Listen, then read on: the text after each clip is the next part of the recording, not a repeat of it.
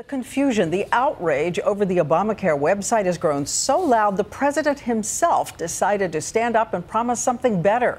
ABC's chief White House correspondent Jonathan Karl with the latest. Listening to the president today, you might think the health care rollout has been a smashing success. Thousands of people are signing up and saving money as we speak. But he also acknowledged after three weeks, problems with the website continue. And there's no sugarcoating it. The website has been too slow, and there's no excuse for the problems.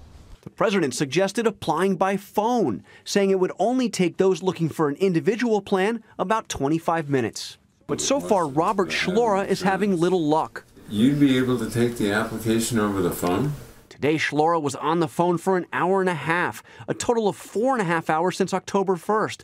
He also has spent five hours on the website, and he's live chatted with a representative for another three hours. After all of that, I really have no idea whether or not I'll be offered a better plan, whether or not the government will help me subsidize it.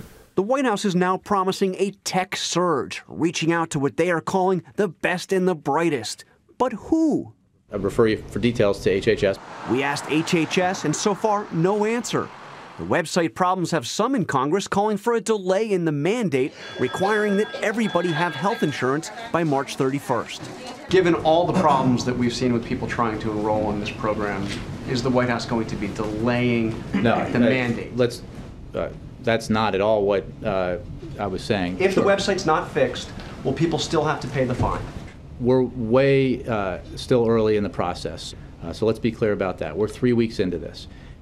Some Republicans are calling on the president to fire Health and Human Service Secretary Kathleen Sebelius. White House officials say that's not going to happen, that the president isn't looking to fire anybody, Diane. He's looking to get the problem fixed. All right, Jonathan Karl. Thank you, John.